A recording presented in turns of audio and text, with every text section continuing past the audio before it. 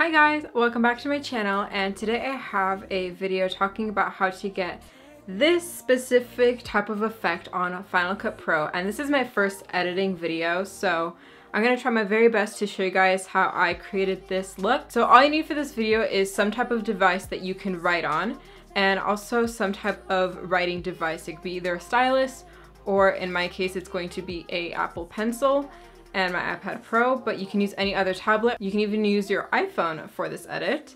So I'm not going to talk too much, let's just get right into this video. I am sliding up to reveal the control center so I could record my screen.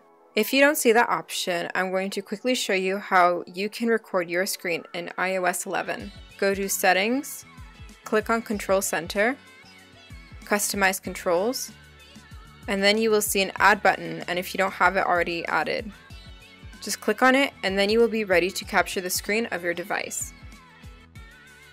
Back to the tutorial, I'm going to use the app Adobe Sketch. Since it is free, you can use any app that you want just as long as you have a blank background and something to write on. I have one layer which I colored in black and I'm adding a second sketch layer which I will use to write my text.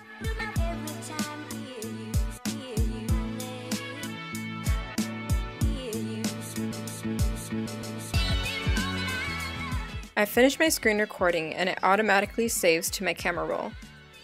I click on Photos and airdrop the file into my computer.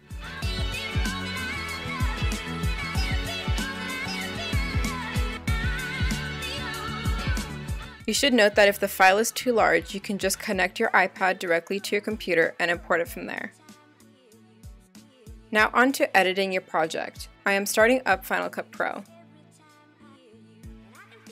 and then dragging my clip from my downloads onto my timeline. I'm quickly going to cut up the clip to be just the start and end of my text.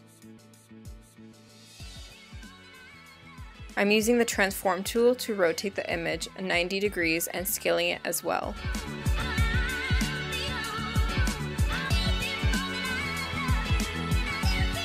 Using the crop tool, I am cropping the image to be just my text and then adjusting the size to my liking.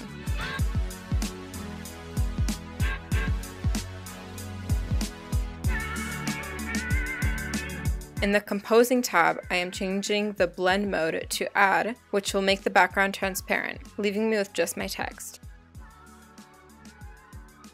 I make small adjustments with the placement and speed up the clip to match my video, and that's pretty much it, I'm done.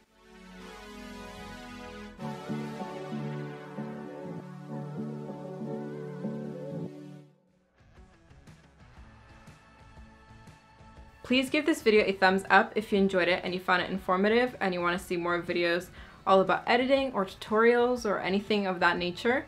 Also subscribe down to my channel below if you haven't already and I'll see you guys in my next video next time. Thank you so much for watching. Bye!